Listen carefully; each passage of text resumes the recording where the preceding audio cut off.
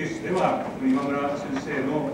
業績を検証して訴訟記録彼が残したものを毎年1冊数刊行してすでに41冊を出しております。でその中から、えー、2, 年前でしたが大学受験100年を記念して今村喜三郎の、えー、大学事件関係の訴訟活動をまとめた「大学事件と今村力三郎」などという本を作っております。でもいずれにしましても彼の、えー、関心が冤罪にあったことは間違いありません。であの戦後の冤罪事件に関してのシンポジウムは彼の名を冠した研究所が主催するにふさわしい催し物だというふうに個人的には考えております。今日また皆様先生方のお話をお伺いすることができてあの新たな、ね、新局面について考えることができればというふうに考えています最後までご清聴いただければありがたいと思います簡単ですけれども主催者を代表して挨拶に返させていただきます。ありがとうございました。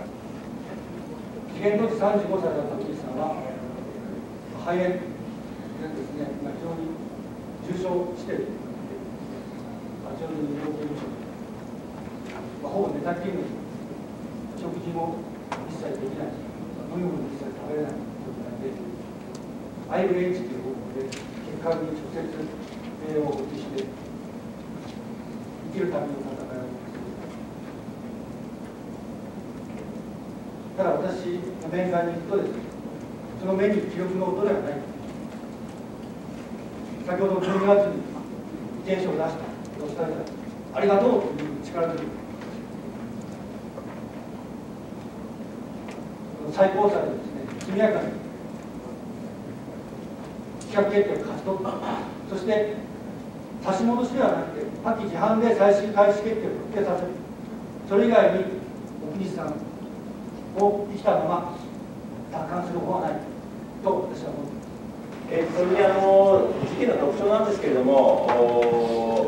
あのナバリの事件みたいなこの鑑定のここがおかしいみたいなこの鑑定を叩けばこうえー、崩れるみたいなそういう検察官の鑑定が根拠になっているものではなくて、えー、自白もなくて、えーまあ、犯人犯人犯行を犯し犯しているところを見たという目撃証言をしたという事件でもない、えー、要するにその犯行現場の近くに連れてったとかですね犯行の近くを聞いたとかですねあいつが気をつけているのを見たとかですねそういうようないわゆる間接事実、えー、が証拠なのでそれを崩す事件というのが特徴です。で、えー、こういう事件ですからなかなかですねあの鑑定出してもですねあのあんまり裁判所に最初受けよよくなかったんですね。あ新証拠をどこにあるのみたいな顔されましてですねあの何がこう新証拠がどういうインパクトを与えているのかというのはよく分かってもらえなかった事件がありまして、えそういう意味で、えその確定判決の証拠構造をですねよく分析して、えどこに焦点を当てて、